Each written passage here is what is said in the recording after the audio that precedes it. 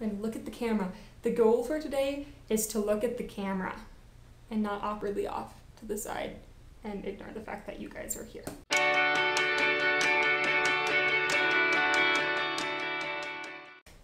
Hello Internet, Mo here, and today I'm doing the book jacket tag.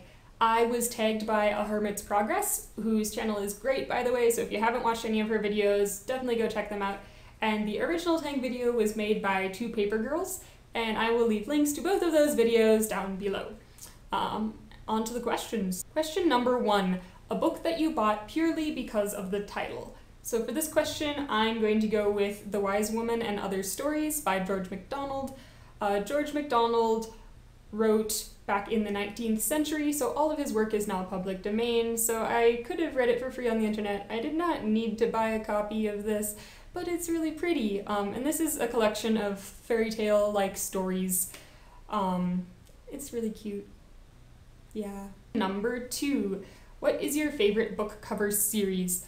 Now, as I mentioned in my recent video where I did the classics tag, I actually am not a huge fan of book cover series. I prefer my book collection to be sort of eclectic, um, but I didn't run across a series that I like recently, and that is the SF Masterworks series. Um, and so they're all sci-fi titles and they all have different illustrations, which I think is part of the reason I like it because they're not the same. Um, but I really like most of the illustrations. I think they're really cool, such as this one, and this one, and this one, and this one, and so many more, guys. They're just, they're great. Number four, number three, we're on number three. A cover design change that really annoys you. Wait for it.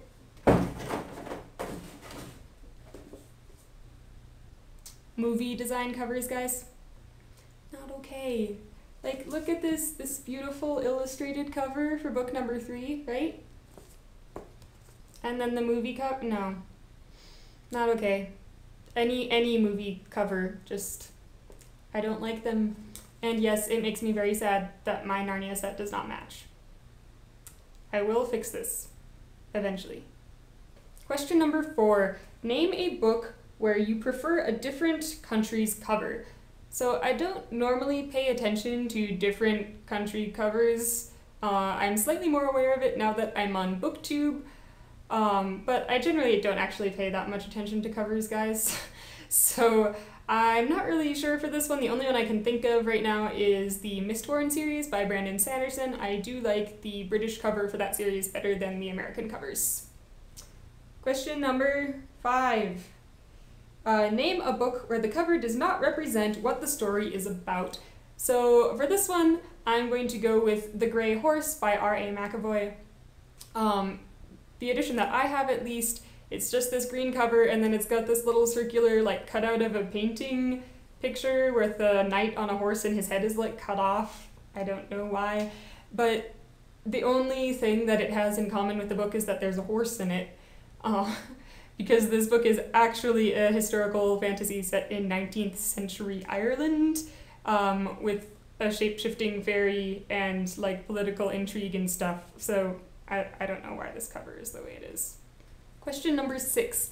A book with an exciting blurb that was ended up being an underwhelming book. So for this one, I'm going to go with Magic Under Glass by Jaclyn Dolamore, uh, and I have the blurb right here. It says, Nimira is a foreign music hall girl forced to dance for mere pennies. When wealthy sorcerer Hollin Parry hires her to sing with a piano playing automaton, Nimira believes it is the start of a new and better life. In Parry's world, however, buried secrets are beginning to stir. Unsettling below stairs rumors swirl about ghosts, a madwoman roaming the halls, and Parry's involvement with a league of sorcerers who torture fairies for sport. Then Nimira discovers the spirit of a fairy gentleman named Erris is trapped inside the clockwork automaton, waiting for someone to break his curse. So, I basically heard fairy who's turned into a piano playing automaton and went, that's gonna be awesome. And I read this book and I did like it, but it wasn't as good as I had hoped it would be, so it was underwhelming in that sense. Question number seven a book you picked up because of an interesting or intriguing title. So for this one, I'm going to go with In the Cities of Coin and Spice by Catherynne M. Valente. Um, and I had read a book or two by her before I saw this one, and so I was attracted by her name as well as by the title. But I thought the title was really cool, and then I discovered that it's actually the second book in a duology. Um, and so I ended up getting both books, but they are Arabian Nights retellings, and they're awesome. So, and the last question, number eight, show off your top five book covers. So in my recent video where I did the classics book tag, I did show off a lot of my pretty books in that one, so I've decided for this tag I'm going to do different book covers than I did in that video. So if you're interested in seeing my other pretty books, you can go watch the classics one. I'll leave it tagged, tagged, linked. I'll leave it linked down below. Um, but for now, I'm going to do other ones. So the first one I have to share with you guys, uh, it's not just for the cover, but kind of for the whole book because it's really pretty and that is the Universal Penman. Uh, and this is a 19th century uh, compilation of sort of scripts and fonts, I guess you would say. And what happened is the guy who um, put it together sent out for a whole bunch of different people to write example pages for him, and then he had them turned into engravings and printed as a book. So this is basically a collection of a whole bunch of different people's handwriting. Um, and they wrote different little quotes or sort of maxims, etc., and decorated them with swirlies and awesomeness. And some of them also, see if I can find a good example, did pictures. Oh, here's one where he made a bird out of little swirly pen marks and they're just really pretty. So yeah, really just love looking at this book. The rest of the books that I have to share with you, I don't actually have uh, physical copies of with me right now. Some of them are Kindle books, and some of them are at my parents' house and not with me. Uh, the first of which is Thorn by Intisar Khanani. This is a fairy tale retelling of the Goose Girl fairy tale, but it's set in partially in like a northern European-ish country and then partially in a sort of India-esque location. And the cover is just so pretty. The colors are just, they're beautiful. The cover was part of the reason that I got this book. I will admit that. Uh, the next one is Perelandra by C.S. Lewis. This is the second book in his space trilogy. Um, and I actually have this trilogy as a bind up with all three of them together, which is kind of huge and not great. I don't really like bind ups because I prefer my books to fit easily into my purse so that I can carry them around and read them whenever I want to, and bind ups don't do that. But I am glad that my bind up has the cover from book number two and not from one or three because I definitely prefer this one. It's just super cool.